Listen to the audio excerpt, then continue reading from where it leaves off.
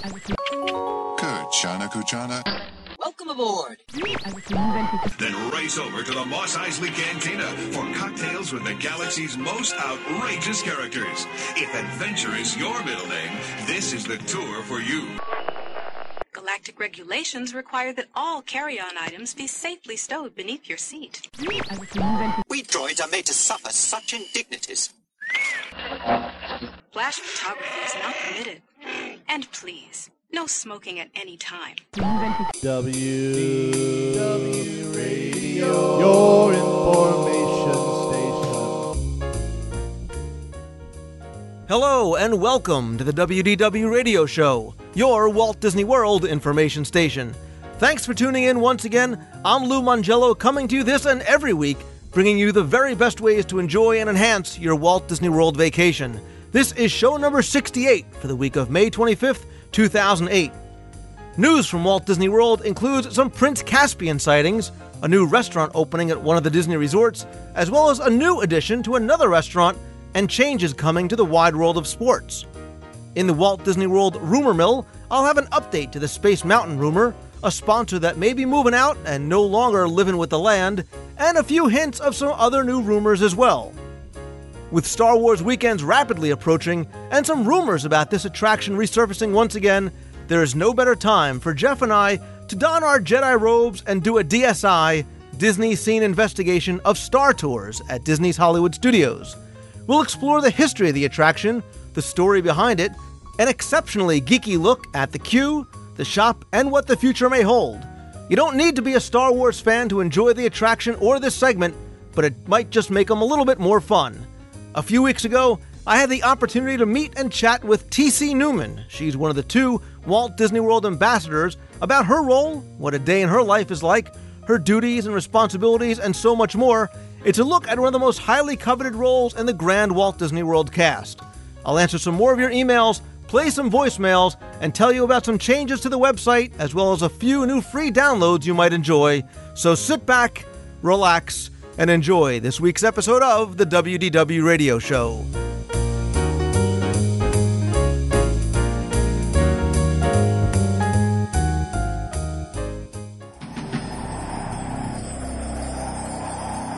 It's been a couple of weeks since we had any Walt Disney World news on the show. I apologize for that. But before we get into this week's news, I want to start off by telling you something a little bit about the show, and it comes to us thanks to a listener. Many times when I do segments on the show, especially things like the Disney Scene Investigations with Jeff, I'm asking you to use your mind's eye to visualize what we're talking about, and sometimes it's not so easy, especially when we're talking about some of those little hidden details.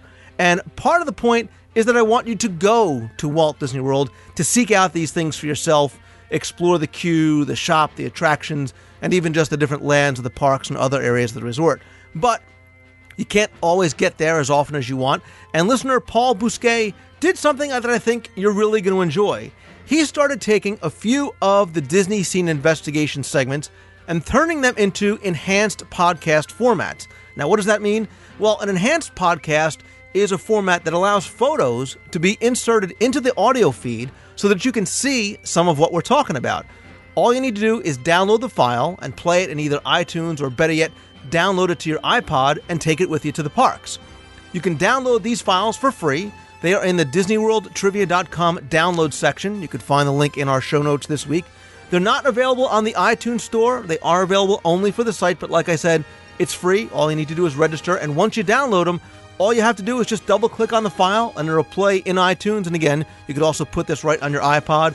The first two that he's done are the Jungle Cruise queue and our DSI of the Echo Lake area in Disney's Hollywood Studios. I think you're really going to enjoy the additional visual element to that, and big thanks to Paul for his work on these.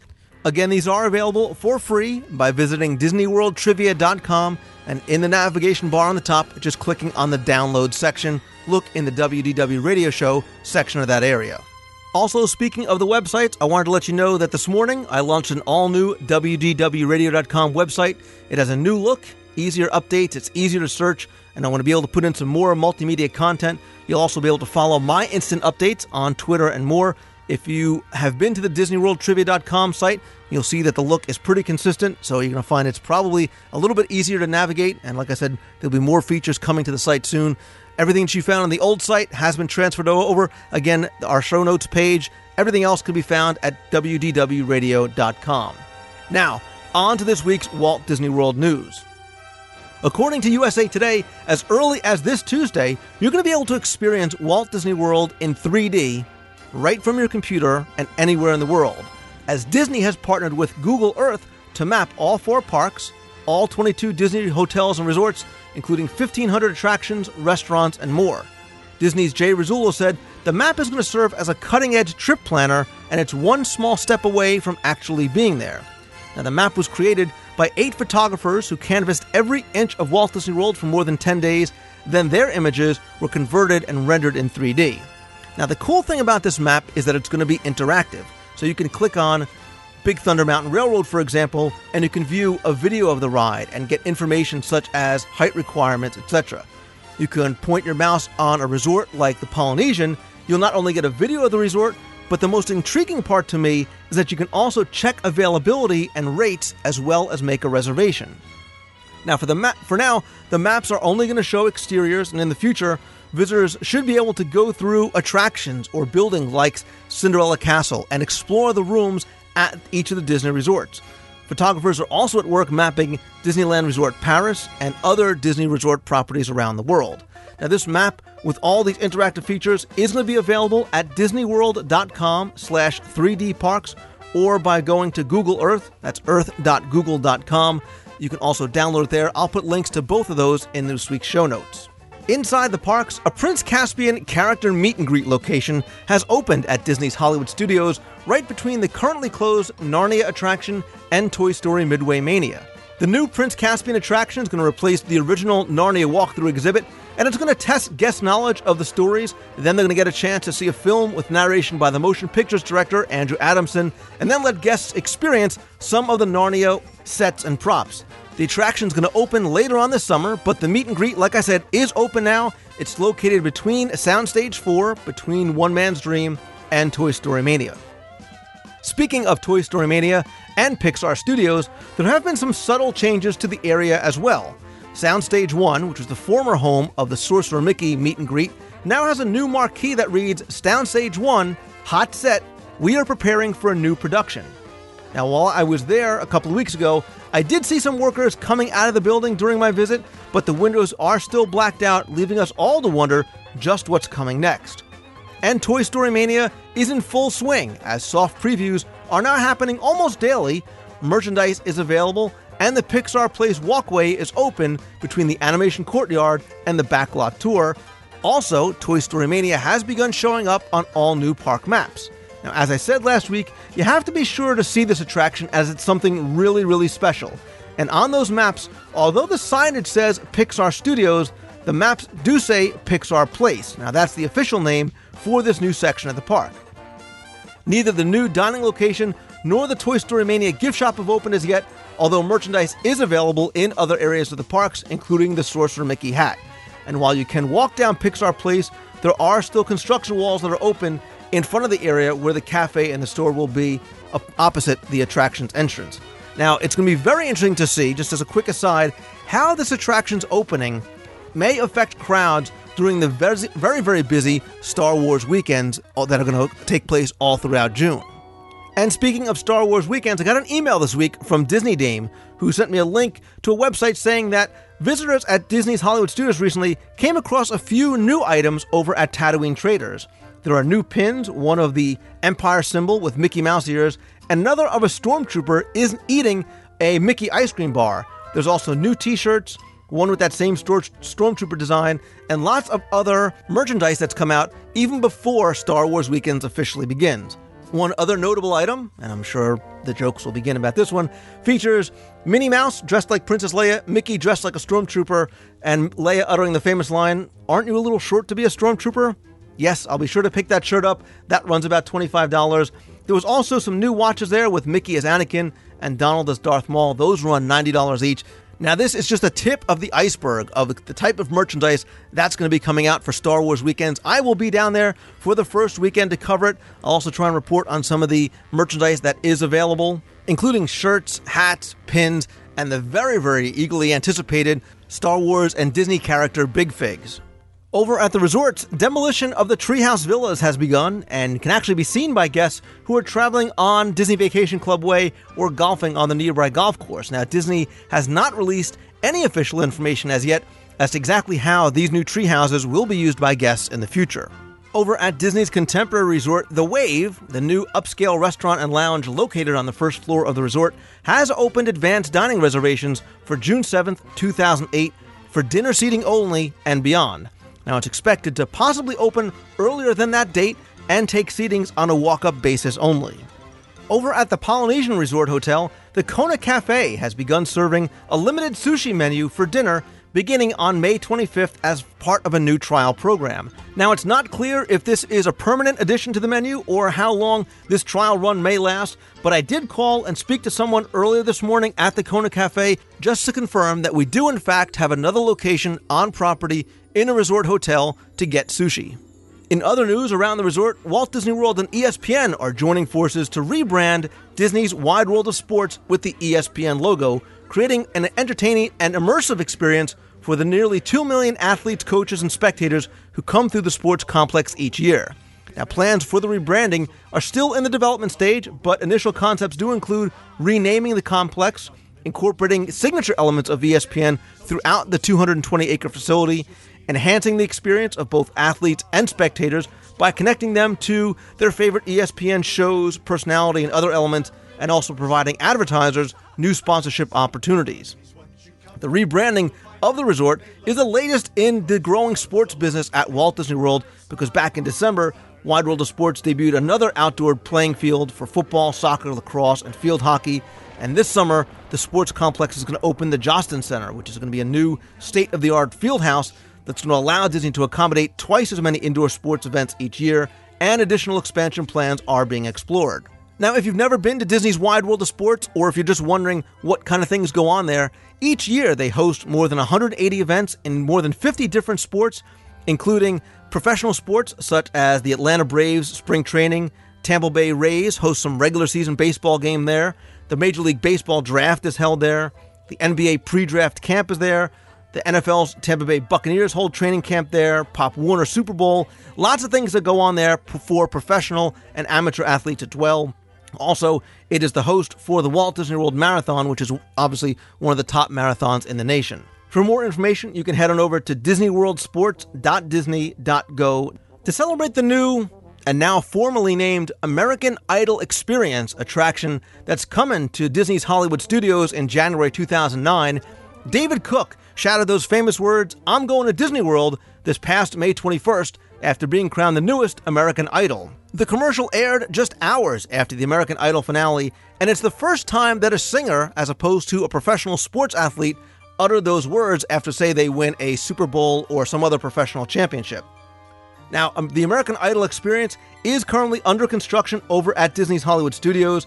It's the first attraction anywhere in the world based on the popular television show, and when it's finished, like I said, when it opens in January 2009, guests are going to be able to experience that whole interactive element by being able to audition and then perform in front of a live audience. If you want to see the American Idol commercial with the I'm Going to Disney World, I put a video up of it in my blog on DisneyWorldTrivia.com. And here's a quick did you know? Do you know who the very first athlete was to ever utter those words as part of a campaign commercial?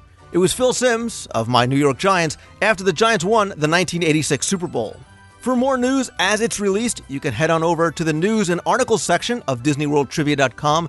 And while you're there, be sure to visit the forums if you want to talk about or comment on anything covered in this week's show.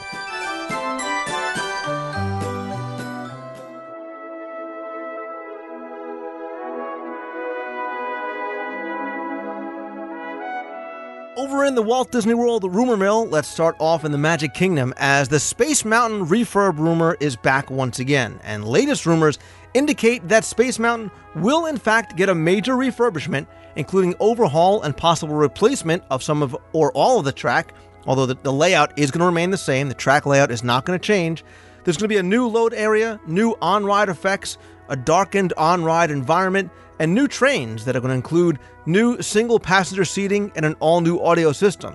Now, here's the bad news the refurbishment is rumored to begin in January 2009 and last anywhere from 10 to 11 months. So it's possible that for pretty much all of 2009, Space Mountain might be down, although based on some of the rumors I'm hearing, it might just be worth the wait once it opens up again. Also in the Magic Kingdom, over in Frontierland, the Diamond Horseshoe Saloon will allegedly open for lunch on select days beginning in the next couple of days. It's once again going to offer a lunch serving of sandwiches and snacks beginning today, May 25th, as well as on the 27th and 30th of this month from 11 a.m. to 4 p.m. Now, I'm unsure if this is going to continue throughout the summer to help with in park crowds, but we will find out once we get into the June and summer months.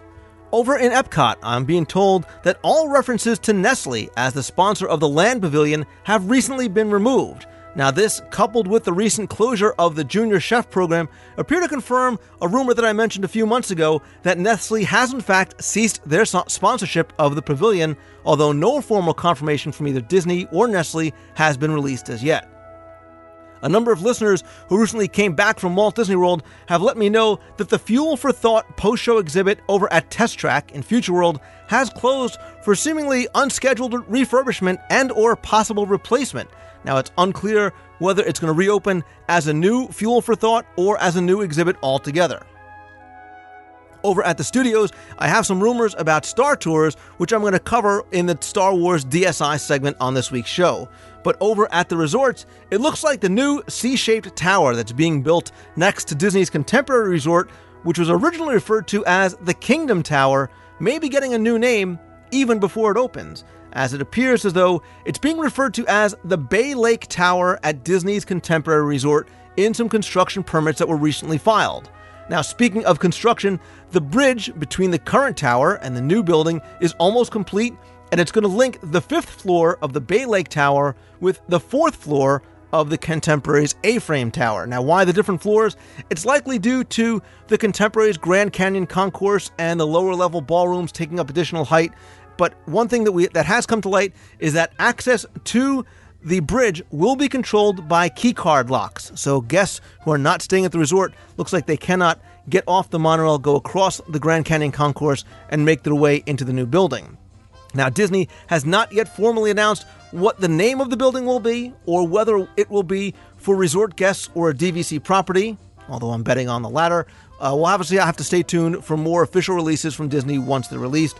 And a couple other little rumors that I've heard that I just want to kind of drop some hints about is that I have heard that Disney is looking to include plans to bring Oswald merchandise into the Art of Disney stores around property and I'll just tease you with the possibility of an all new dining location coming to the parks, as well as a new party that's going to be included as part of your admission coming to one of the parks as well. If you have a rumor that you've heard, or a comment that you want to make, or something you want to share, you can email me at lou at wdwradio.com or call the voicemail and get on the air at 206 202 4WDW. That's 206 202 4939.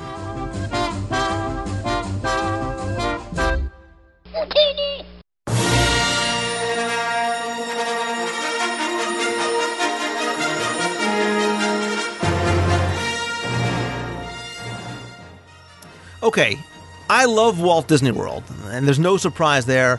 And if you've listened to the show before, you know that it's for so many reasons, above and beyond just enjoying the rides and the shows and, of course, the food. But let's be honest, our love from Walt Disney World really stems from some of those attractions that maybe we grew up on or made incredible memories with our family or friends while riding, or just those that make you feel happy or thrilled or relaxed or whatever it may be, and I am certainly no different, as there are a number of attractions that I simply love for one reason or another. But this week, this week, I'm really going to have some fun, and I've really been looking forward to this for a long, long time because I not only get to do one of my favorite types of segments, and that's a Disney Scene Investigation with Jeff Pepper, where we explore and hopefully introduce you to some of those little details and trivia and history and overlooked facts but this time, I can really get my geek on, and I get to combine two of my loves and things that kept me quite occupied in my younger years, and that's Walt Disney World and Star Wars. So, yes, Jeff and I are going to don our Jedi robes and arm ourselves with our magnifying glasses and lightsabers as we take a very close look at Star Tours at Disney's Hollywood Studios. So, once again, I bring in my young Padawan learner who knows that doing a DSI isn't like dusting crops, boy, and that's Jeff Pepper. I think we got to work on who's the Padawan here. you know, there can only be two. Uh, God, I'm really sorry. It's only, it's only going to get worse, folks. I it's promise. It's worse you. from here on out. it, uh, yeah, the the geek level is really going to uh, probably get blown out of the water um, because we're doing this, obviously, Jeff, in anticipation of Star Wars weekends, which are going to be running over at Disney's Hollywood Studios through June. I'm going to be there the first weekend, uh, and I'm really, really looking forward to it. I've been a Star Wars fan since '77, and I can say with some pride and some reservation that I've seen the original films way more than 100 times each, uh, probably close for, uh, for Empire and Jedi. Second trilogy, not so much, but I'm getting there. And Jeff, I, I know you you are a child of the same generation, so you're probably a Star yeah, Wars I, fan.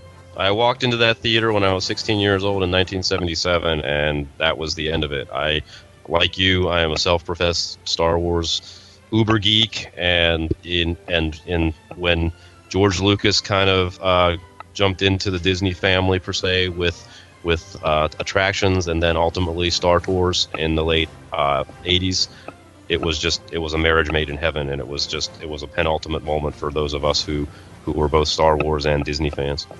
And as will be evidenced by the crowds that are going to come to Star Wars weekends, you and I are not alone in our love of the marriage of Star Wars um, and Disney. And what the relationship to has evolved so interestingly and so synergistically, if that's a word, correct word to use. But now, as many of us know, there is just this incredible togetherness of the two, where we have the merchandise, we have the characters, the the, the, the, the Disney canon of characters, Mickey, Donald, Goofy, portrayed in Star Wars forms with you know collectibles, with the big figs, things like that. So it has reached this this kind of amazing kind of penultimate kind of situation that is just so wonderful for folks like us. Absolutely, and even with Star Tours, when it when it first was being developed, it's that, like you said, that marriage of the imagination and the technical wizardry of Lucas and his team over at ILM, which is Industrial Light and Magic, and the creativity of the Imagineers. You want to talk about bringing the two major creative forces together. That's why they've done so, so many successful things like Star Tours and even Indiana Jones and the Epic Stunt Spectacular. And, and an interesting thing to note, and I think you'll remember as well, Lou, is in the late 70s, you know, as we came off of Star Wars and we were heading into The Empire Strikes Back and Return of the Jedi, one of the comments you frequently heard at the time was because at that point in time, Disney, you know, the Disney studio was kind of languishing in kind of a the doldrums. It, it, you know, it had a very bad kind of track record for its movies and such like that. And one of the things you often heard repeated was, you know, Star Wars was the kind of movie that Disney should have made, or you know, Indiana Jones was the kind of movie that the Disney studio should have made. And you know, and and when kind of you know when Eisner came in in the '80s and kind of you know the company had a big kind of rebirth in a lot of ways, you know, in ter- especially in terms of Hollywood, you know, that's where it, it kind of almost came together in that regard. Exactly. And we can kind of start talking about maybe the history of the attraction. And when we do, we're really going to be talking about the history of the attraction as it pertains to Disneyland because it went there as well. But it's important to note for the version of Disney's Hollywood Studios, which really is for most, uh, for all intents and purposes, a mirror image of what we have in Disneyland. And like you said, what was going on there in the early 80s was Disney looking to kind of get to that next generation of of thrill ride or next generation of a, of a guest experience. And they wanted to use a technology that they were developing or looking into, which was that of a flight simulator that was used by military and airline for pilot training, and marry it to a Disney franchise. And the hope was that they wanted to use it for a possible black hole attraction. Now, that was the 1979 film that, while many say was a flop, geeks like me, I actually enjoyed. I, loved Vincent and I, and I loved the whole thing. But for Disney's purposes, it wasn't enough to bring an attraction to the parks. And, and if you read some of the early stuff about the black hole attraction, Jeff, they actually wanted guests to be able to choose their own ride route. Um, and unfortunately, that got shelved, somewhat akin to the Horizons thing, but you would actually choose, like people have wished we would get in Star Tours, choose what your destination would be. Yeah, the irony is that there's an interesting irony with the background to the black hole in that a lot of people felt that Black Hole was Disney to try to trying to trade on the popularity of Star Wars, and to an extent it was. But the the actual ideas for the black hole were in development well before Star Wars ever came out, and so it's it's an interesting bit of irony that you know it, it evolved, it then went into production ultimately because of the success of Star Wars, and then Star Wars ultimately was part of the reason it was likely 86th for the theme park. But it actually ended up working out well because in the early to mid 80s, probably around uh, 84, Frank Wells and Marty Sklar get together and meet up with George Lucas about doing a project together for the parks. Now, Lucas actually knew Michael Eisner, who obviously was working uh, with, with Frank Wells from Raiders of the Lost Ark days when Eisner was head of Paramount. And Lucas had actually told Disney that if he was going to do something like this, if he was going to do some sort of an attraction based on his movie, the only people he would do it with would be Disney. Um, and that's sort of how the project really got going. Disney had this new technology. Lucas had the franchise, and again, you talked about that marriage. It was just perfect. Yeah, and, and an interesting thing is, is George Lucas and and Steven Spielberg both were very much children of Disney. They they very much loved Disney growing up. Disney played big big influences in what how they developed their their filmmaking and such. I mean, even you know one of the things about Close Encounters is it has you know the When You Wish Upon a Star music kind of backdrop to it. So these are guys that were very passionate about Disney, and a lot of people I don't think really realize that as much. Exactly. And, you know, we mentioned Indiana Jones, we mentioned Star Tours. They also worked together closely on an attraction that had opened before any of these, and that was Captain EO. And that was maybe almost sort of the, the test run of the marriage. And that, and that show was very, very successful and extremely popular when it first opened. And that was, yeah, that's pretty much how George Lucas got his foot in the door into Tomorrowland and Disneyland, per se. Exactly. And, and like we said, the attraction was really the, the, the idea for the attraction was to bring something into the Tomorrowland of Disneyland. They wanted to swap out Adventures Through Inner Space, which had been open since the mid 60s or somewhere around 67. It was time to get that out and bring something fresh in. Kind of have to shoehorn an attraction based on these simulators that Disney wanted to go out and buy into that area. And that's what they did. Disney went out, they bought four of these military simulators at about $500,000 each, while ILM worked on the first person perspective aspect of the film, doing the shooting. Um, and then when they got them together, they brought the film in, got with the simulators. It was actually programmed, and Imagineer actually sat in the seats and programmed it using a joystick in order to, to program all the movements. And that was supposed to open in 1986, but as many of these high tech projects go, it ended up opening up a little bit later than that. And do you know what day that opened up on? Though? As a matter of fact, I do. But please take it away. Well, I think we need to really discuss the extraordinary significance of this date that it opened, and that was on January 9th, 1987. Not only is that Richard Nixon and Joan Baez's birthday, but that is mine as well. so it really has no significance to Disney or Star Wars. no, no, no. The downside of it is January 9th is also the day that Horizons closed, but let's not go there. that really is the most important date, I think, for most of most of us. But the other thing too, Jeff, was before it went in, the attraction went through a number of changes on the drawing board. Originally, both Disney and ILM wanted the attraction to be somewhere around 15, 20 minutes. Um, and believe it or not, it was actually shrunk down from that time to almost about four minutes. Um, ILM did all the construction of the props and the sets for shooting of the video, and Imagineering built all the ride vehicles, audio animatronics, and scenes for the queue.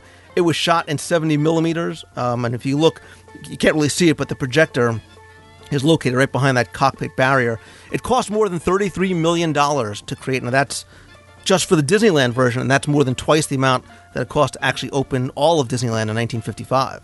The only other thing that was significant about the January date was that they were able to meet their deadline of opening the attraction before Star Wars 10th anniversary in May. And so it was critical that it be opened at that time. But the other thing that I remember, Jeff, about the opening of the attraction was a TV special that obviously aired nationwide about the opening of the attraction in Disneyland, and it was called A Vacation in Space. And it was hosted by Gil uh, Gerard. He played Buck Rogers on the TV show, and Ernie Reyes Jr., who was a young martial artist. He was in uh, movies like Teenage Mutant Ninja Turtles.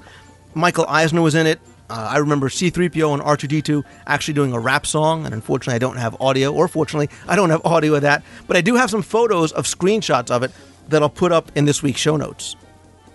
Yeah, and that, that was what was disappointing, really disappointing as well, is that it was all West Coast, and and uh, like like you and I, we were East Coast based. We were Disney World kind of centric, and '87 was actually the first year I got to go back to Disney World as an adult without parents after I got married, and we were hearing about this, seeing it all, and it was like, darn it, you know, it's way out there. Yeah, I, I, remember being disappointed, but fortunately, we didn't, as Disney Walt Disney World fans, didn't have to wait very long because our quote unquote version opened on December 15th, 1989, which is just a couple of months after um, the park opened. It was actually five months after Tokyo's version was ready, and that was in July. And Paris actually got theirs in April. So we were really kind of the last one of the first few parks uh, to get it. And I and I actually did. I managed to though get out to see it. I, I saw it at Disneyland first um, in 1989, in summer of 1989.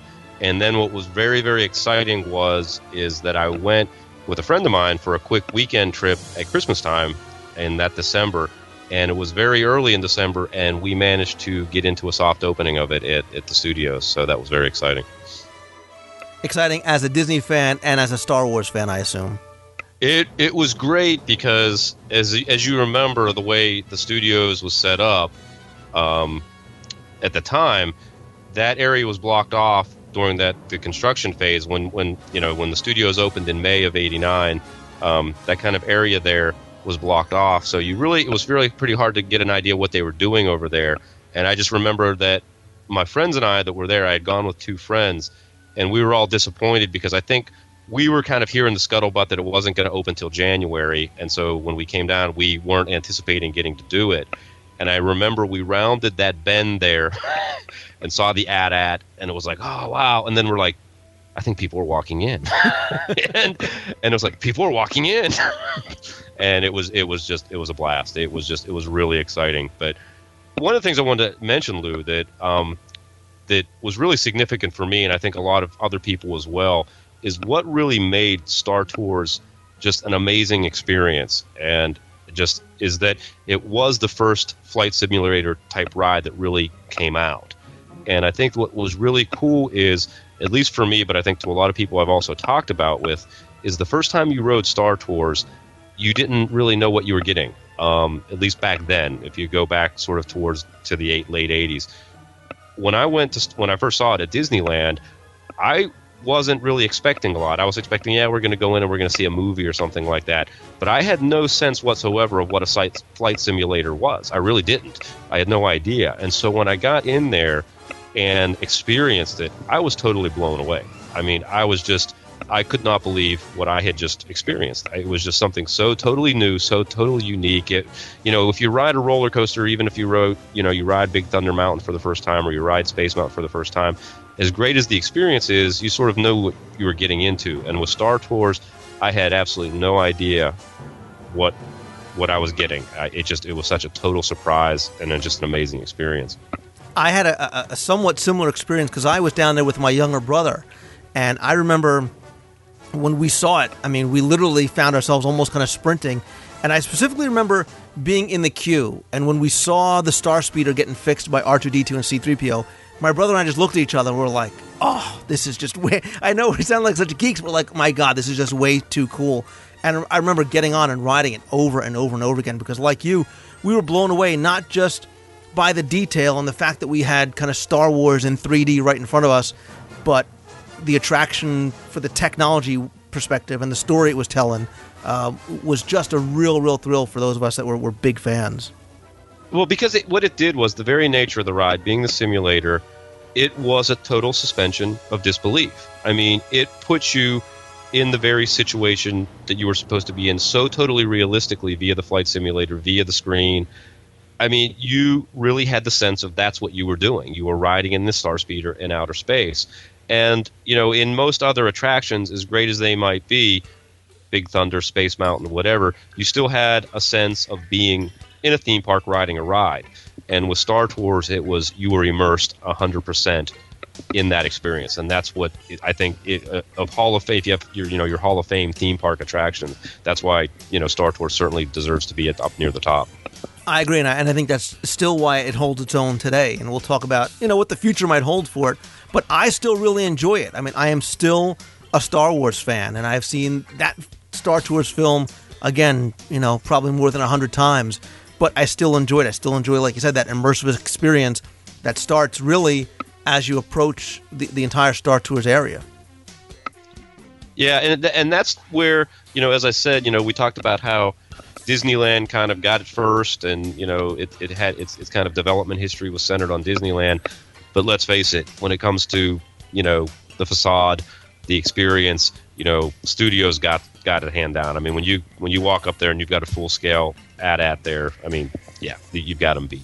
Exactly, and you know, we talk about the story and we talk about all these different things, and it really does begin out there. Um, and that the time frame that this is supposed to take place in is actually following Return of the Jedi, which is the third film in the Star Wars saga. We'll touch on this again later because there's a, there's a point about the timing of this that I want to kind of bring up to other Uber geeks like myself. But you know, in addition, like you said, you've got that 35 foot AT-AT walker that you know fires the mist out and makes all the noises, and you can see the the footprint of it uh, under its raised leg, and the entire Ewok village um, is just, especially at night. You go there at night and you hear the Ewoks kind of singing and chanting.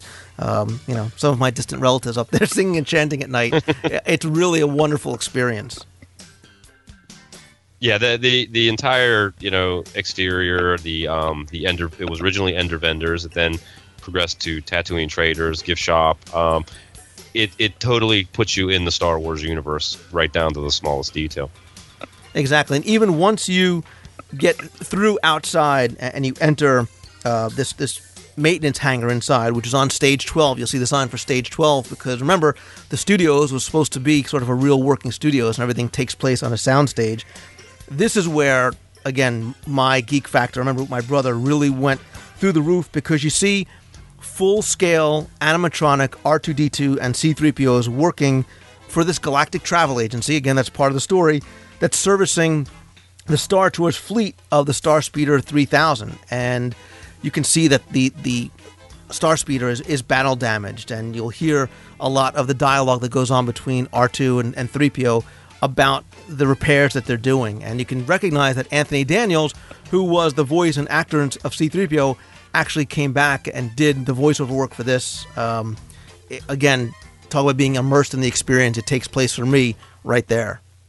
And and again, here again we have that perfect marriage of Disney and Lucasfilm with what is better what can what can be more better suited to audio animatronics than those two characters. I mean, it's it's perfect fit they can be replicated almost perfectly, and even their very droid nature makes them a perfect fit for audio animatronics because that makes them just all the more realistic. Exactly. And there's so much. This is, again, one of these places, Jeff, that I think if you get stuck in the queue, there's so much to see and so much to hear. So, for example, if you look to your sort of over your back left shoulder, depending on what you're looking at, you'll see a control room there and you'll see forgive me as I start mentioning names, one of these Mon Calamari figures like Admiral Ackbar um, from, uh, sorry, from the original trilogy.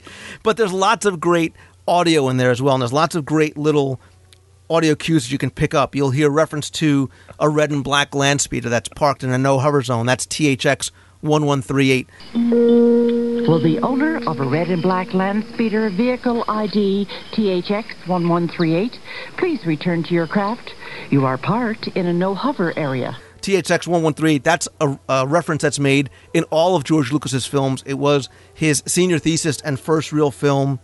You'll you'll also hear discussions about some of the other destinations that Star Tours may be going to or you can go to like going skiing or exploring the ice caverns on Hoth or the old abandoned Echo base from Empire Strikes Back. You can ride a Tauntaun. You can go to the moon of Endor. That's where our uh, trek is going to take us. Or go to Tatooine and go to the Mos Eisley Cantina. Again, lots of great stuff in there. But Jeff, there's also a couple of other references to individuals, both real and fake, that I really like listening for. Yeah, Disney in these kind of situations loves loves to do those kind of audio mount announcements, as any fan of the TTA um, knows. But one of the really cool ones is Mr. Igraj Sakul, which is George Lucas spelled backwards. Departing Endor passenger Sakul. Mr. Igraj Sakul. Please see the Star Tours agent at gate number three. And the other one is very interesting because it kind of pays homage to an older um, Tomorrowland attraction, that is Mr. Tom Morrow, paging Mr. Tom Morrow, and that was actually the character from uh, Flight to the Moon, who later became Mr. Johnson in uh, Mission to Mars. And we'll see as we head into the next area in the Droid Repair Center that there are other references to other films, other attractions, and other individuals as well. Yeah, one of my favorite one of my favorite details again, and it's a very very hard detail to find because of the um, light levels, it being very very dark, is the basically the kind of Kermit the Frog uh, sort of robotic skeleton that is seen kind of down under a ramp there, uh, kind of on a shelf, and it's almost to really catch most of the details on it. You almost have to take a flash picture of it and then look at your flash picture of it to, to really see how it's structured. It looks like Kermit. Yeah, and also right before you, when you kind of go up and around the ramp, before you go into the next sort of load area of the queue, there's also a reference there, and again, somewhat difficult to find unless you're looking for it, an old Disneyland attraction as well. Yeah, America Sings. There are again. It's almost like you know they had an easy job of this because what they did was they stripped down to the mechanics um, two of the animal characters from America Sings. I believe they were geese, and they w- this was originally done for the, the, Disneyland attraction, but then they duplicated the, it for um, the the Hollywood Studios version. Yeah, and there's lots of other stuff to look for too. On the right hand side, you'll see a a G2 9T droid working on um, an R2 unit there. That this one has a bad motivator, just like the same one. It's the same little red R2 unit that blew up at the beginning of Episode Four, and that's how uh, Luke Skywalker ends up getting R2D2. There are other announcements that you listen to in the queue that I'm not going to spoil for you, but uh, sometimes you have to kind of listen closely. And of course, always look up because there are uh, boxes kind of going overhead with parts in them, and on there there are stenciled letters and numbers. Those stand, like you'll see many places in Walt Disney World, for the initials and usually birth dates of Imagineers that worked on the attraction. One one other detail I really love because I, I only really kind of caught it recently, and once again it was when we were actually waiting in the line. Um, we hit it at a time where there was a wait. If you look down, what what's really interesting is the details in looking down, and you as you're going on the queue ramps, you you feel like you're way above this sort of almost huge, huge kind of set piece. And again, very basic um, optical illusions were incorporated to give this whole area a degree of scope. And one of the things, if you kind of look, you can see that it's kind of the old, just kind of the tricky mirror effect where they've placed a mirror to actually extend the depth of the set piece. And it, it's really almost because of the, the lighting levels, it works almost perfectly because it it was almost very hard to even denote that it was a mirror the way they had set it up. And it was just really excellent, excellent work on Imagineering's part and again, it's a queue that I don't mind spending time in, and, and there are many times that there's nobody in the queue, and I'll spend time and kind of walk through slowly and take pictures of some of the cool things that you can look for and try and spot. Especially if you are a big fan, you'll find props that look like they came right out of the movies. But from that Droid Gnostic Center, you go into the boarding area, and you'll see your pre-show video. Um, that's hosted by a woman played by Jennifer Lewis. She's got her sort of half a Princess Leia hairdo going on. She's got half a cinnamon roll on one head. Again, the passengers in the ride video are Imagineers and their family, but you can also find an Ewok in there as well as a Chewie, another one of those Mon Calamaris, and they were kind of big orange heads with big fish eyes. For those of you that might not be familiar with what I'm talking about, and if you look carefully as you start to board the vehicle, Jeff, you'll see that the Star Speeder is really just sort of painted on the side of a large rectangular box that's on a series of hydraulic lifts.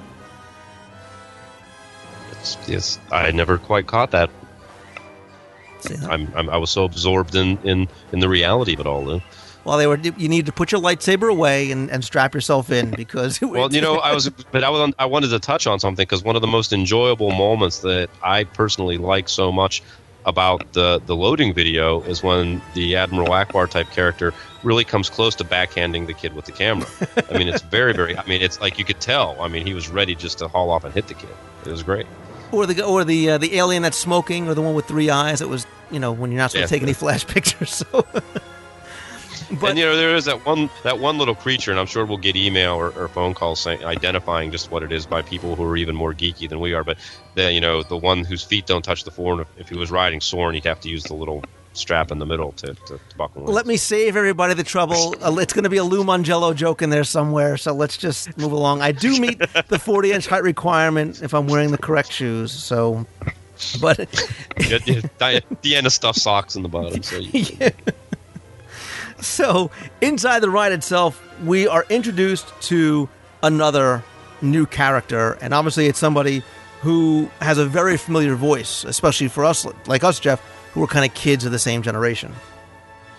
Yeah, and it's it's interesting because that's the funny thing that you know after time went by, most everybody came to recognize and, and acknowledge that it was Paul Reubens, more famously known as as Pee Wee Herman. But it was interesting is that back then it was one of those things that when you rode the ride, it was that that voice. I know that voice, and I, I remember being on it with so many different people saying, "Who does the voice? Who does the voice?" Because I know that voice, and it's just a, just a enough of a slight variation on his Pee Wee Herman character to get you thinking about it, but it, you just wouldn't immediately make that association with Star Wars, so it kind of wasn't a slam dunk identification for you.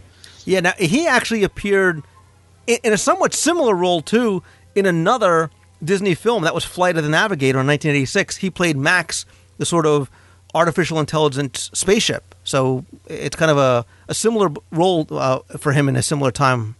Yeah, and take a quick look at Rex when they drop down the uh, the cockpit shield. You can see he has a long right uh, red tag on him that says "Warning: Remove before flight." Obviously, which was not removed. That's actually a reference to tags that are sometimes put on airplane parts uh, before, obviously, it's supposed to take off. And maybe that's the reason that our adventure begins. And of course, Jeff, things go horribly wrong.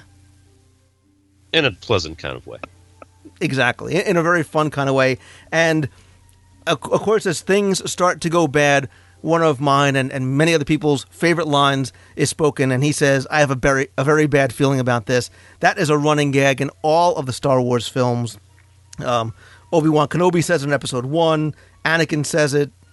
Luke Skywalker, Princess Leia. I won't go on, but it, it's in something, and it's actually, believe it or not, it's also uttered in uh, Indiana Jones in Disneyland too. It's a it's a total it's a Lucasism. It's a Lucas. I like that. So, but yeah, we're supposed And to I be think on I our think Michael Jackson doesn't Michael Jackson even say it? That and THX. Oh no! Don't send your emails. I'm just kidding. That's Jeff Pepper at 2719.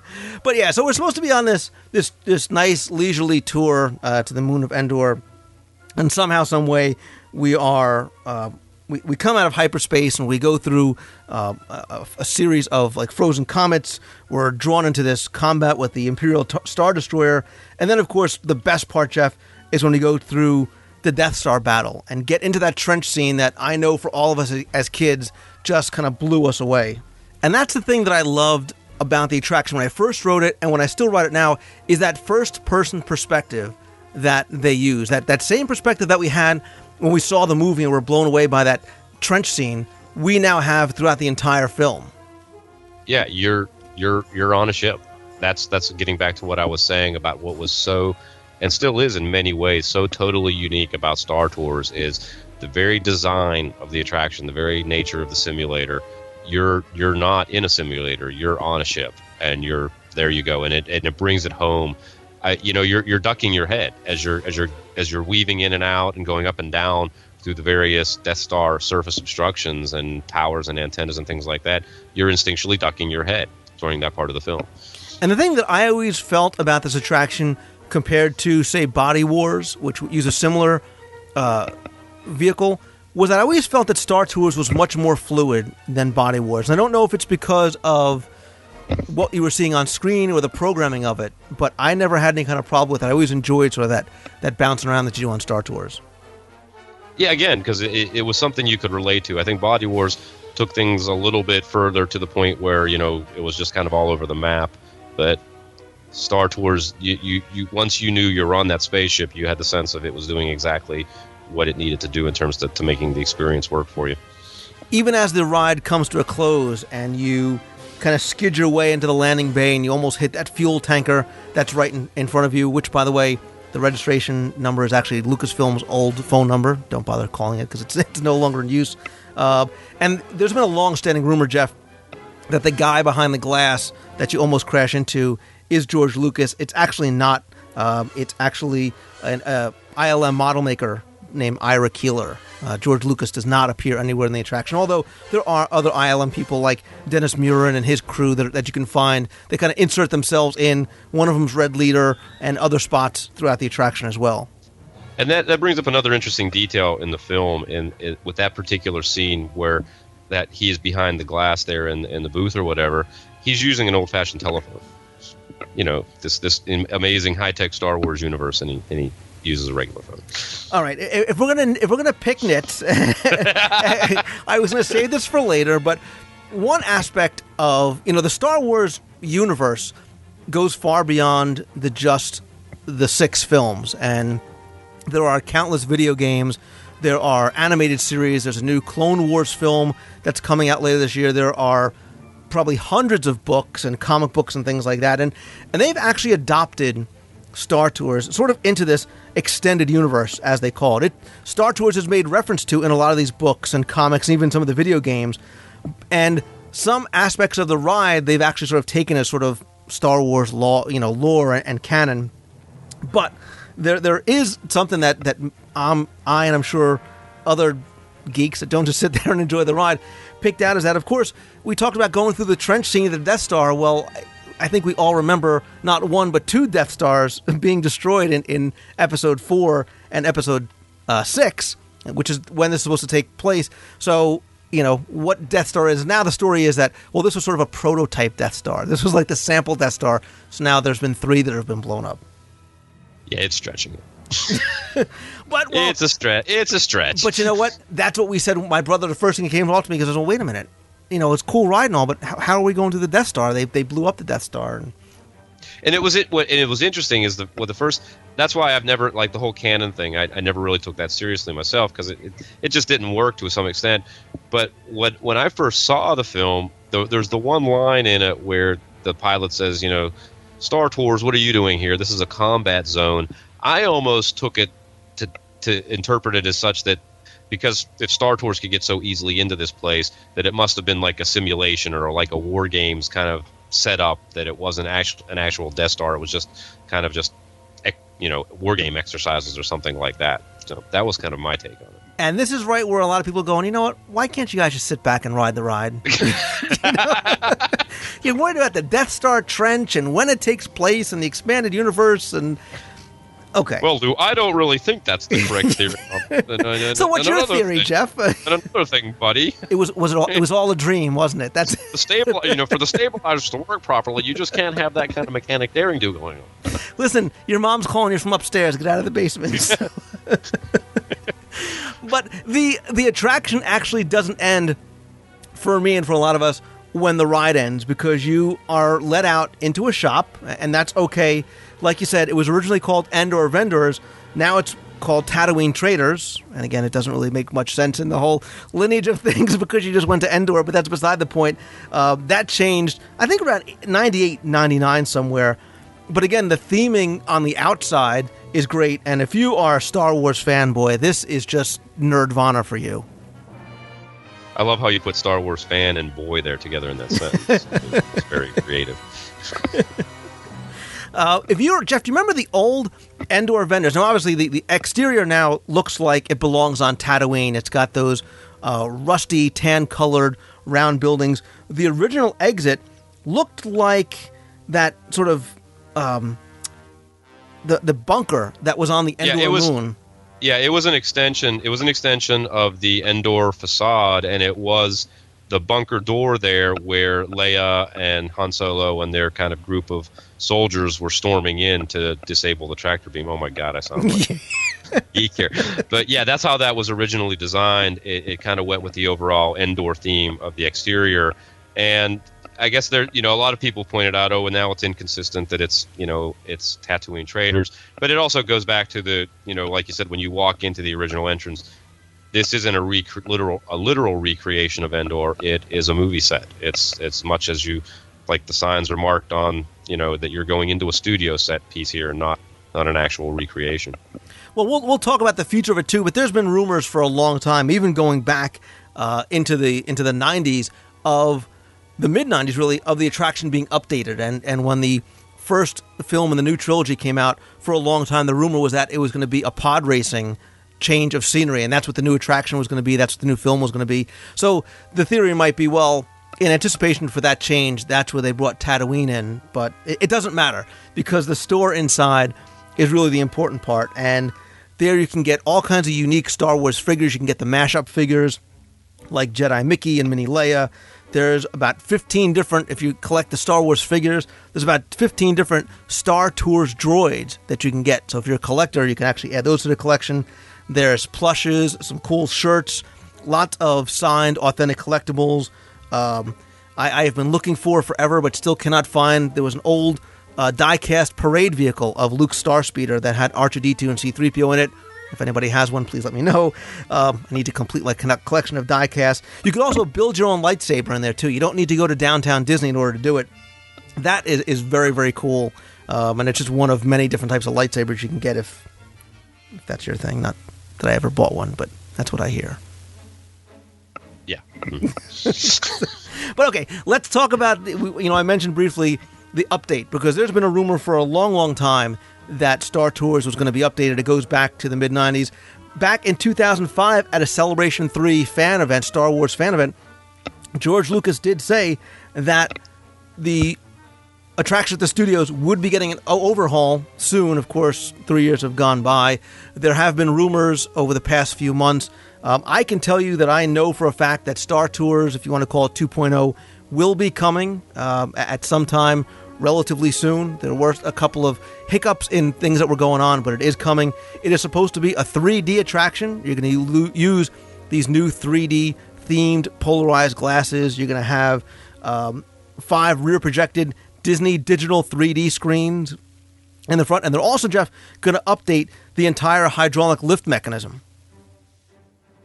And is this this is something like again, you know, part of the other thing we were hearing, hearing tidbits of, I believe, was that Anthony Dan at some point that he had been recording dialogue, and so there was a lot of stuff, you know, floating around out there. So, is your sense of it, Lou, that this has been actually in production to some extent. I mean, we had heard also, I think you'd even mentioned, I, I don't know if you'd mentioned on the show, there were rumors that they were actually testing stuff out in in the Body Wars simulators over at Epcot. I mean, any any credence to any of that?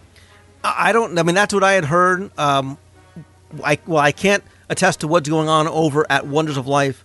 What I had heard recently from uh, a very reliable source was that Star Tours 2.0, again, we can call it, is definitely coming. Um, I don't have a time frame as yet. It's obviously going to take a number of years probably for it to be retrofitted, especially if they're going to change the entire hydraulic mechanism um, for the number of star speeders that are in there. Well, it was funny. I did. It was very kind of a funny story that I have from quite a years, a few years back, and you you probably have memories of this too. But the rumors that always surrounded Star Wars were very funny because the the George Lucas sightings at the studios and at Disneyland almost became tantamount to like Elvis sightings, to where you know you would hear cast members talking amongst themselves that oh yes George Lucas was here last week, so that that's that's an indication that we're going to have the simulator switch out because I, I remember a a cast member back in the mid '90s just swore uphill and downhill that Lucas has been been out to visit and that that the simulators were going to change and you were going to have three different destinations and and now looking back it was all just kind of somebody's imagination gone wild. But it was it was one of the it was almost you know the bus drivers weren't talking about it so much, but it was being circulated among the the studio cast members a lot. Well, I haven't looked, but I'm sure if you go online, probably now is about the right time that you'll start hearing things like. George Lucas is going to be there for the first weekend of Star Wars weekends, and he'll be checking into the beach club because he needs to watch A, B, C, and D and see what's going on. Uh, uh again, you probably have a better chance of Elvis showing up at the beach club for Star right. Wars weekend.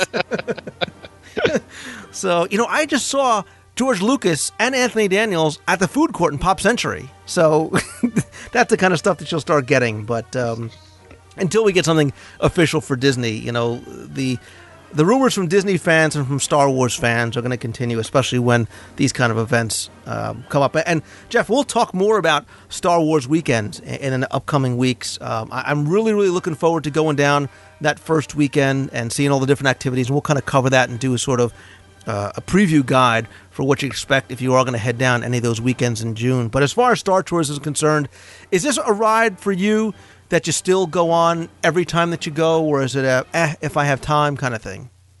Oh, every time, absolutely, and and typically multiple times. And fortunately, it, at the studios, even during very very crowded times, you can typically not have a very long wait. Um, I my our experience with it is has been usually it's usually a walk on or at the very most a 15 to 20 minute wait if it's a, at a busier time. So yeah, it's always a must do. It's, it's it's it's almost instinctual. We don't even talk about it. We just walk that direction and get in line. It's not it's not even a negotiable thing.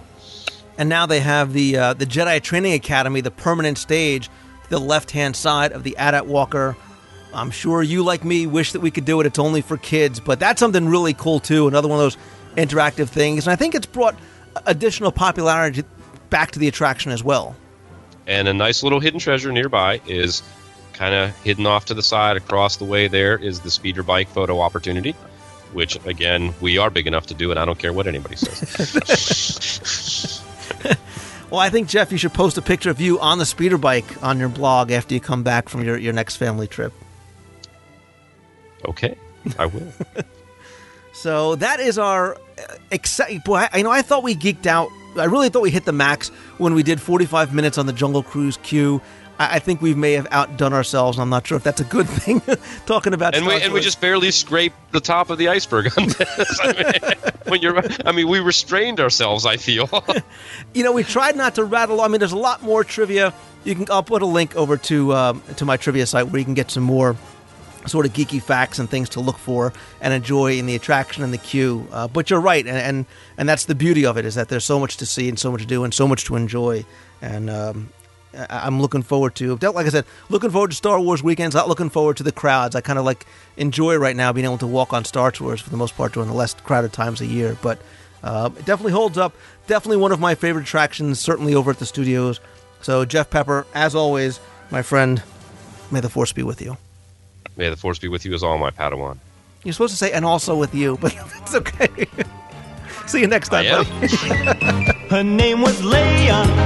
She was a princess with a Danish on each ear and Darth Vader drawing near. So R2D2 found Ben Kenobi. Obi-Wan. He'd have to put the Death Star plans into the rebellion's hands. So Luke and Obi-Wan had to get to Alderaan.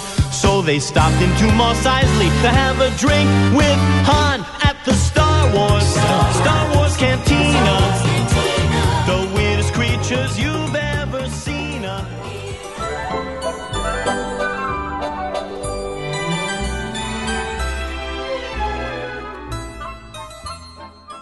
I've always said that what makes Walt Disney World such a truly special and really magical place is not the parks or the attractions or the shows or the food or the resorts or anything else like that. It really is the cast member. And a few weeks ago, I had the opportunity to meet and sit down with T.C. Newman. She is one of the two 2008 Walt Disney World ambassadors who really embodies and represents each and every one of the more than 60,000 cast members in Orlando. And we had a chance to talk about her role and the selection process and sort of what her day to day duties are. So I want to share with you part of my interview with TC and start off by welcoming her to the show. Thank you so much. I'm excited to be here. Hello, listeners. this is very exciting for me. And, uh, you know, I said when we first sat down, um, and then I'll preface the interview by saying I think that you really do have probably the greatest job in, in Walt Disney World. I'd have to agree with you. This has been an amazing few months, and I know as the year progresses, it's going to be wonderful. Absolutely. Well, tell us, before we talk about the role uh, of ambassador, tell us a little bit about yourself and your background. Well, I grew up in Southern California, just in the shadows of Disneyland and have been an annual pass holder at the Disneyland park since I was nine years old. So it's always been a passion of mine. I, um, my parents actually honeymooned here at Walt Disney World back in 1972, so I think somehow Mickey was in my blood. you caught the, the, the magic, so quote unquote, um, very early on.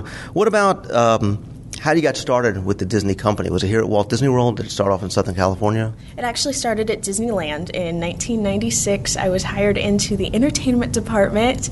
I was one of the performers and got to bring some of our fairy tales to life. All right, tell us a little bit about the ambassador position itself, how you actually started the application process, and what sort of that the steps that you went through in the interview process before you were actually um, given the title. Well, I would say for me that the steps to becoming an ambassador started long before the interview process. I remember seeing the ambassadors as a cast member at Disneyland and wanting so badly to do what they did. And so years later, I finally went out for the role at the end of 2006 for the 2007 ambassador team. Did not make it that time, but I gained great friends, a lot of confidence, and took the feedback that they gave me and really applied that to the 2008 process, which thankfully I got to hear Meg Crofton say my name along with Carrie McPherson's over at the Theater of the Wild at Disney's Animal Kingdom. It was a moment I will never, ever, ever forget. But the process to becoming an ambassador is a long interview process. It starts off with a panel of managers, people who really want to know what the cast member who will be the ambassador will be doing to represent them. And then from there, we cut the field of about 120 people to 17. And the 17 of us participated in a role play exercise, as well as going through another interview process with a panel of people on the director or general manager level. Then from there, that field was cut to nine and we interviewed with Meg Crofton, president of Walt Disney World Resort, along with vice presidents and her steering committee, and got a chance to really delve into yourself, not only yourself as a cast member, but, but who you are as a person outside of Disney. And from there, they made the selection, and this year it was myself and Carrie. I, can only imagine how exciting that must have been. But you talked about the process and, and really you are the official representative of all of the 62,000 cast members, which is obviously a very daunting task. But did the cast members themselves play any part in the selection process of who was going to be out there for 2008 representing them? Well, all of the cast members who are on the panel, excuse me, all of the people who are on the panels are cast members and have come from all ranks, meaning some of them started um, in our park, some of them have started in administrative positions. So all of them have a vested interest. The ambassador team truly represents all of the cast members, no matter what their role is. All right, so speaking of roles in the ambassador, what exactly does the Walt Disney World ambassador do? What are some of your your duties um, and sort of your your day to day roles? We have a great role, and a big part of it is truly encouraging our cast, being a part of the celebrations that go on here at Walt Disney World, such as our environmentality commitment, our commitments to diversity, and as well as celebrating cast member milestone anniversaries, safety records, and then outside of Walt Disney World, we represent our 62,000 cast members in the media, doing podcasts such as this, radio interviews, television interviews, print interviews, just really taking the wonderful things that our cast members are doing on a daily basis out into the rest of the world. So I assume that obviously every day for you is is very different. What, what's a typical like a typical week like for TC, the Walt Disney World ambassador? A typical week for me is wow, it's varied. Every week has been different ever since January 1st when I officially started the position. But I would say that we have a lot of cast member celebrations, so there's a lot of driving involved. We've got 47 square miles of property here, so driving back and forth between different resorts and parks and celebrating cast member milestones. Uh, also, I would say every week or so we have at least one or two interviews come up so that we can uh, really get that Disney message out there. We want to encourage our guests to come and visit us, and we want to show them the wonderful things that Disney as a corporation is doing in the community. Do you get a chance to get back into the parks and interact with guests? I'm sure there must be something. If you don't, you, you probably get to miss. We do get a chance to go out into the parks. Um, we miss it. We miss doing it uh, more often. But between uh, events, we certainly walk the parks and say hello and, and do our best to have some guest service and some special magical moments with our guests. Yeah, like I said, you, you have obviously one of what I assume is probably one of the most coveted, you know, cast member positions, and you're really following in such a long tradition that really started with Walt himself. People might not realize this began back in Disneyland for its 10th anniversary when Walt was just sort of inundated with media requests.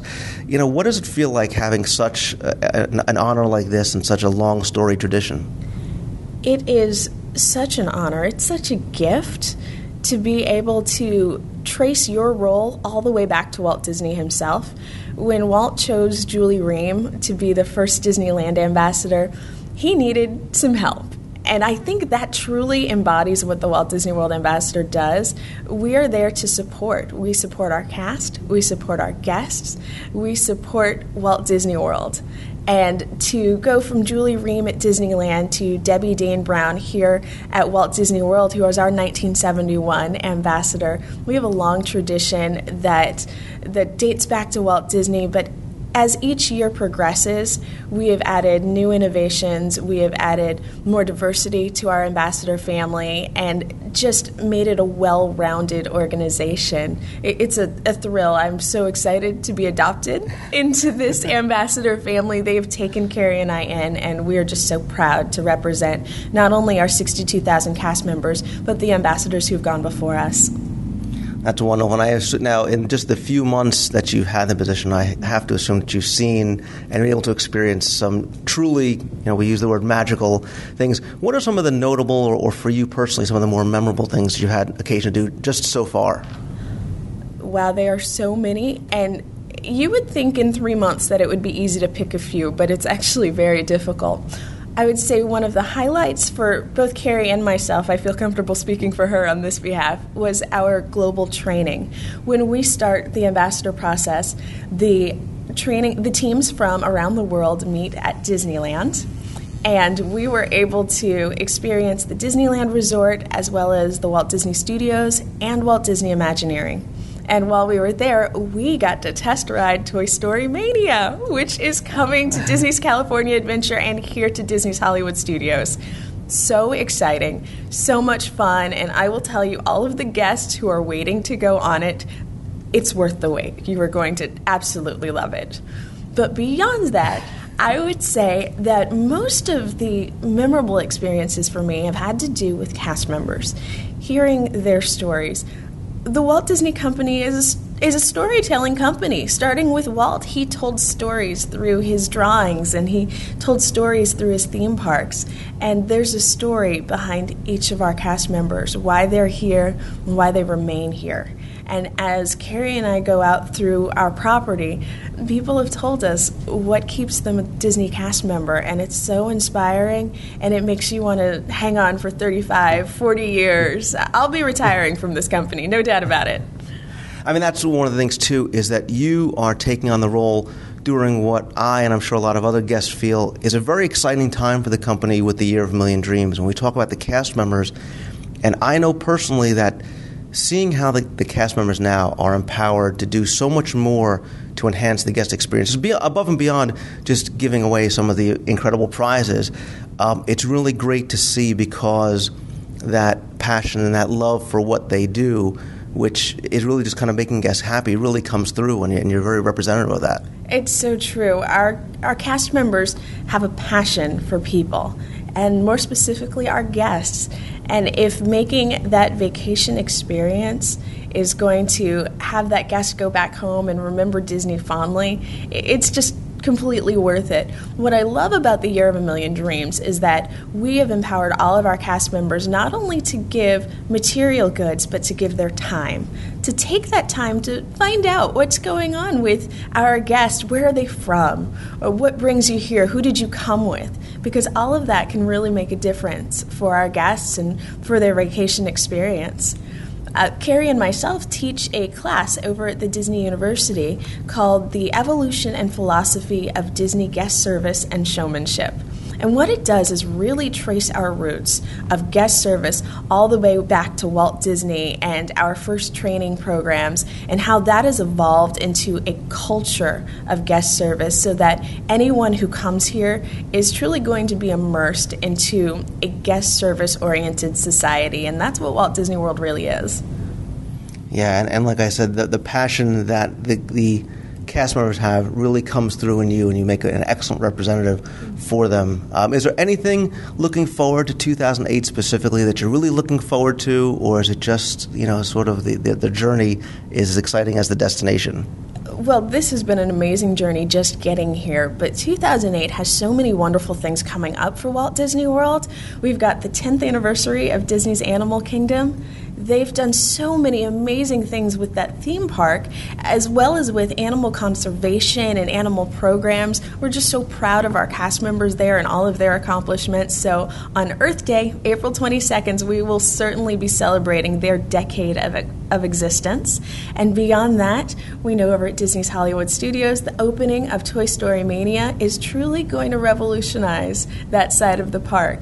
And we've just opened the Block Party Bash at Disney Disney's Hollywood Studios. Again, an amazing parade, something that the entire family is going to enjoy. So, as the year progresses, more and more wonderful things are coming up for not only our company, for our cast members to experience, but for all of our guests to experience. Now, let me ask you this. It, it might seem like a, a, silly question, but everyone in the Walt Disney World cast and every cast member obviously wears their costume when they're on stage. You are dressed in your beautiful blue suit with that very, very um, distinguishing ambassador pin. When you are out as an ambassador, do you also have to sort of keep to that same Disney look and, and, wear a costume as well? Absolutely. This is a costume that you're looking at, and all of the clothes that Carrie and I will be wearing for the next year are costumes. Uh, because the ambassador program has such a long history, we do have to be concerned with keeping that classic Disney look. And so everything that you see me wearing is a part of my costume, including the pin. Uh, the pin, which I love, it's my favorite piece of jewelry currently. it is um, actually made by the same company that made the uh, Olympic medals for the Salt Lake City Olympics. And I can wear it for one year unless after this year I do anything on official ambassador business, that is the only time I'll be allowed to put it on. So I am relishing every day that I get to put this on. But you get to keep it at the end. I do get to keep it. It will be a part of my history forever. And we were saying, unfortunately, the, the, we've graduated away from some of the '70s plaid. You, you look very, um, you know, you look wonderful in your blue suit. And is it kind of the same costume all the time, or do you have like a variety of different things you get to wear? We do have a variety of suits and, and casual wear depending on the occasion. Because of course, if we were out at Disney's Wide World of Sports, it might be a little overdressed to come in in a full suit. So we do have a more casual costume for that occasion. And uh, currently, of course, our colors for Ambassador are red and blue. So currently, our costumes are in that red and blue family. We have steered away from the plaid. It's definitely a classic, but we are not doing that at the moment. classic in quotes. How diplomatic of you to say classic. Um, do you ever get a chance to travel, you know, beyond the states, you know, to Disneyland? Do you get to go overseas at all? Absolutely. We have already visited Disneyland and Disney's California Adventure. We've also gotten a chance to travel around the state of Florida because, of course, all of our Disney fans are going to know that we have Disney's Vero Beach Resort. A little further south in Florida, we've gotten to visit our cast members there. We will be visiting Disney's Hilton Head Resort, and my partner Carrie will actually be going out to Tokyo Disney Resort to celebrate their 25th anniversary this April, which is so exciting. And together this July, Carrie and I will be taking the trip over to Germany to go on an Adventures by Disney trip. We will get a chance to see the castle that inspired Walt Disney to draw Sleeping Beauty cla- Castle and have a chance to go through the beautiful country there that really inspired Walt. It's just so exciting. What's also wonderful about that trip is that our worldwide ambassador team will be coming and joining us. So, our ambassador team from Paris, California, Tokyo, and Hong Kong will all be meeting us there. I don't need to look back at my notes, but I'm sure I said something about you having the best job in Disney. I think you, I think we've, we've sort of uh, definitely shown that that's true. It is the truth. So exciting. And I can see as we sit across the table when you talk about these things, I can see the excitement in your face, and you truly do love what you do. And certainly, the selection of you as the 2008 Walt Disney World Ambassador was a perfect one, and I think the 62,000 people that you represent should be very proud um, to have you out here in the community representing them. Thank you so much. I, I, appreciate that. Carrie and I love what we do. This is going to be a very difficult role to give up on December 31st, but I will tell you, this has been an amazing year and certainly a, a year of a million dreams for me personally, and our cast members has truly made that happen for me. See, you took my line. I was going to say it was a year of a million dreams for you, too. Uh, TC, thank you so much for taking some time out of what I obviously is a very busy schedule for you um, Um, to sit and talk with, with me and, and for my listeners. And I hope we have occasion to see you again throughout the year. I hope so, too. Thank you so much. And we'll hear from you soon, listeners.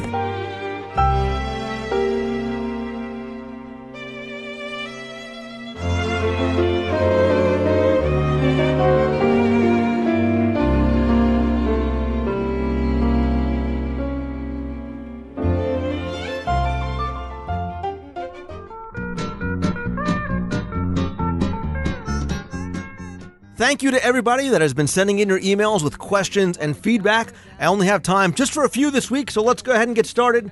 The first comes from Rich Bernardo. He said, Hi Lou, as always and usual, enjoyed this week's show regarding Toy Story Mania, and we are looking forward to going there on our trip this July.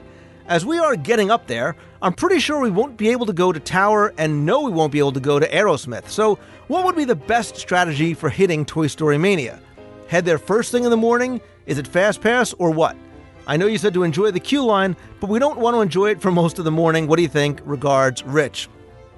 Rich, clearly this attraction is going to change not just the landscape of Disney's Hollywood studios, but how you have to prepare and how you have to tour. For many people who wanted to hit the big name attractions first thing in the morning, they would run down Sunset Boulevard, grab a fast pass, say for Tower of Terror, go hit Rock and Roller Coaster, then hit go back to Tower of Terror. Now you got to think a little bit differently and bring Toy Story Mania in the mix. Me personally, what I would do is first thing in the morning, I would head right for Toy Story Mania. I would grab a fast pass and then get on the attraction.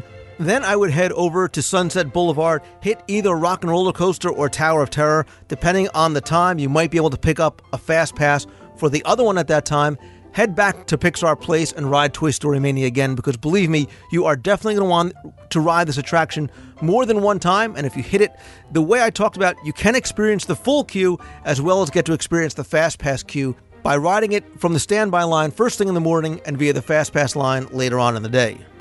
Next question comes from Brian Grimm, who said, Lou, I'm looking for the name of a website that posts Walt Disney World wait times in real times. I can't find any information on this. Any ideas? Brian, I actually have not heard of Walt Disney World posting live real time wait times. I do know that there is another Orlando based theme park that shall remain la- nameless that does provide somewhat real time updated wait times for their attractions via a website address that you can access from your mobile phone. So basically, while you're in the park, no matter where you are, you can use your cell phone with web access to check the wait times for any of the other attractions. Now, I don't know if Walt Disney World is planning on doing this. What I did have on the show was somebody who came on and talked about the in park Nintendo DS system. That was a, a system that was in a trial run of number of months ago where you'd basically rent one of these handheld Nintendo DS devices and part of what it did was give you real-time wait times and I believe that is now out of the testing phase and Disney has not announced any formal plans to implement this in the Magic Kingdom or any of the other theme parks. Now, if there is a website that maybe I'm missing that somebody knows about where Disney does post the live real-time wait times for the attractions, please email me, let me know. I'll put it up in the show notes. Next email is from John Beal said, Hey Lou, I recently just took a mama and me trip down to Disney World at the very beginning of May. I would disagree that this time of year isn't crowded.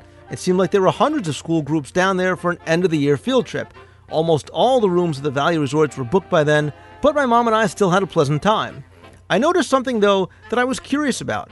Behind the Imagination in Canada Pavilion is this blue sky colored building. It seemed like a big warehouse or something. What was it? Is it part of the Imagination ride, or is it where they store things for shows or past parades? I was wondering if you could fill my mom in on what that building is for. Thanks so much. Love the books, podcast, and your audio guide, John.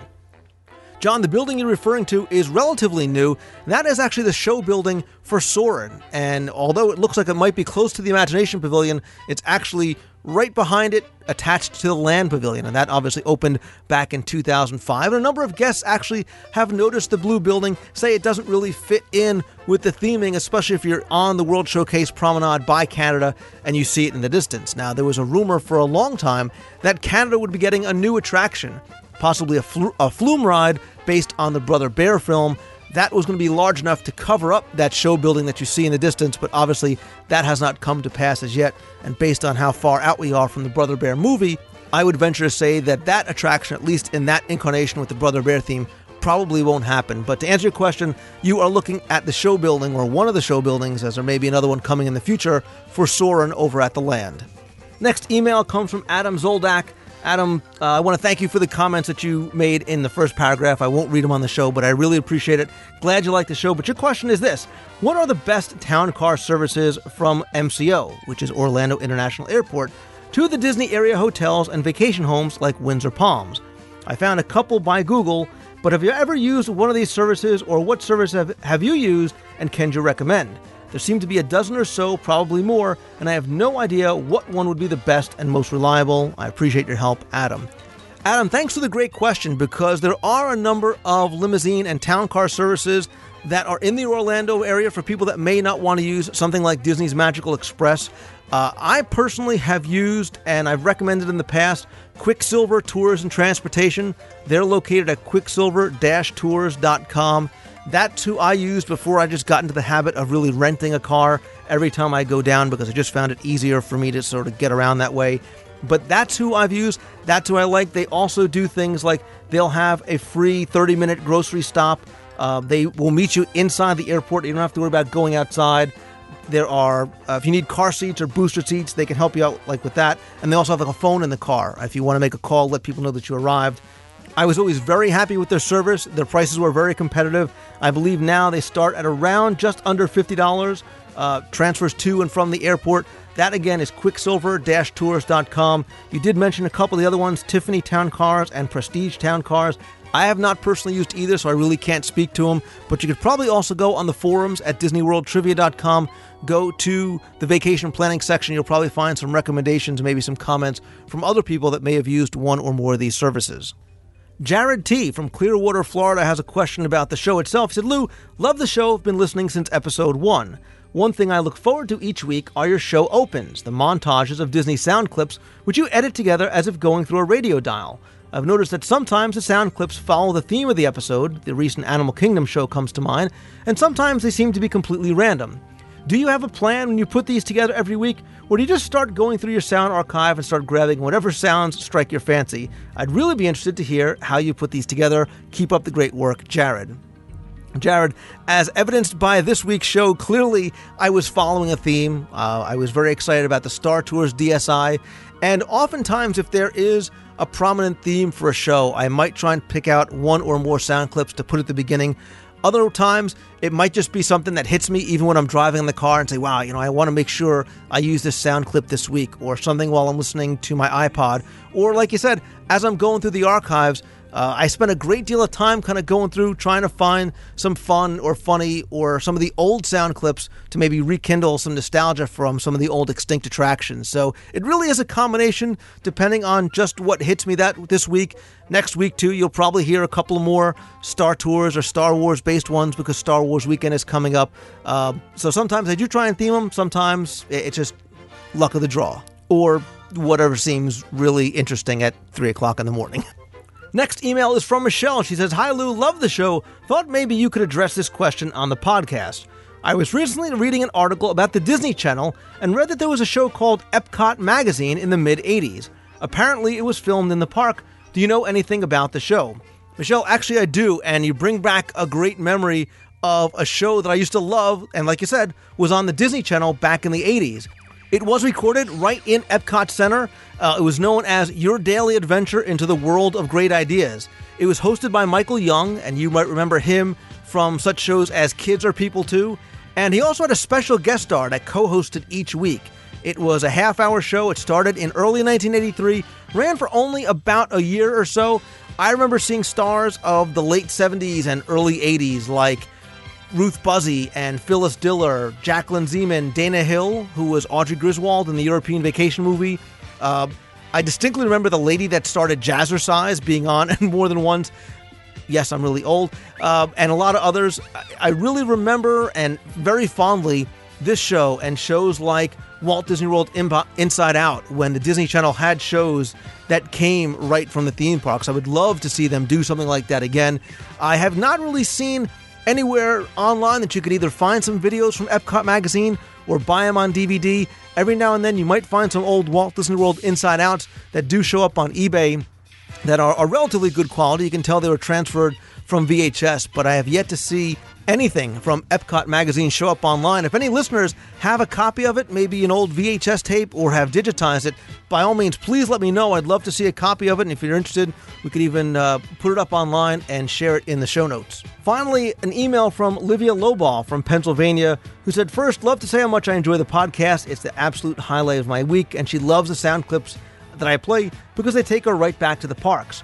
She was referring back to a question from show 65 about the radio music from the Kilimanjaro safaris. She actually has the exact track to share for the listener. That was a song from an album by a group called African Dawn. The CD can be found on Amazon and it costs about $30. She said the song is track number four with the title of Papa Duniani. So she wanted to make sure I let that listener and all listeners know said to keep up the great work. Olivia, thanks very much for uh, writing in and sharing that with us. And that is all the time I'm going to have for emails this week. If you have any emails that you want to send in and answered on the show, you can send them to lou at wdwradio.com. Or if you have a voicemail that you want answered, you can call that in at 206 202 4WDW.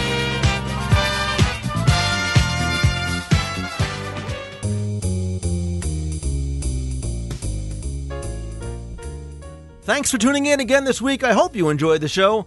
I want to say special thanks to Walt Disney World Ambassador T.C. Newman, as well as Jeff Pepper for joining me this week. I'll have another segment leading up to Star Wars weekends coming up next month, and I'll be there the first weekend in June to cover some more for the show.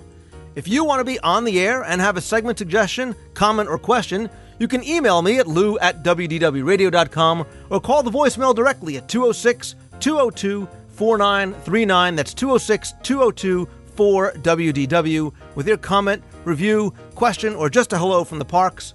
Be sure to go and visit the new WDWRadio.com for show notes, including photos and links to topics that I covered on the show. There, you'll also find some recommended products and services. I wanted to let you know that All Star Vacation Homes has an exclusive deal going just for WDW radio show listeners. Now you can receive a free rental car and $50 gas card with your seven night stay in a three, four, or five star vacation homes. You can visit the link in the show notes to take advantage of this offer and search for your vacation home.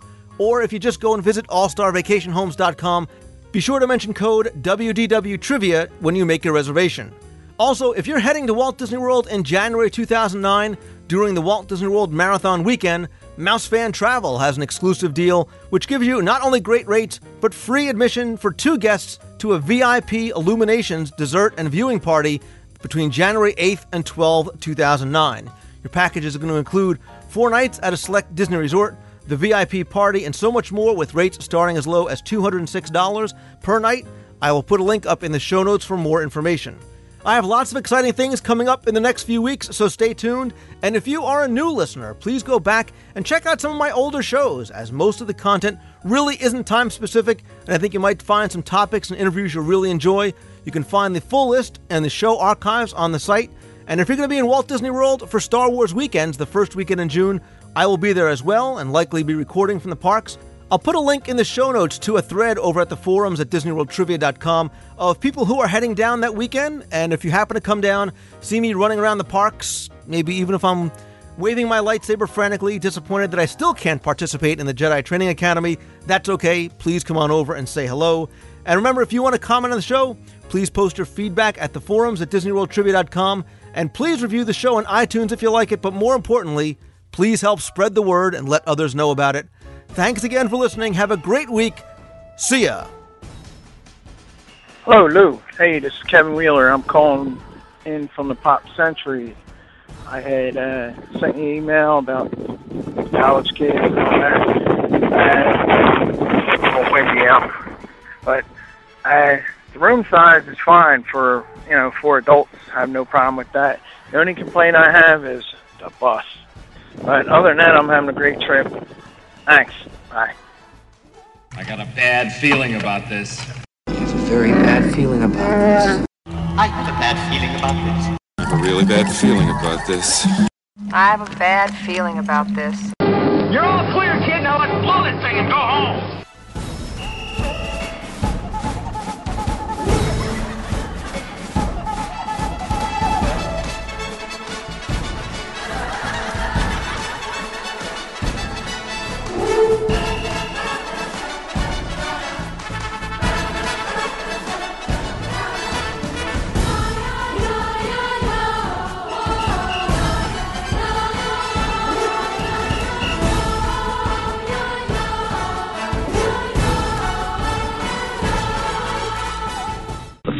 Be with you always.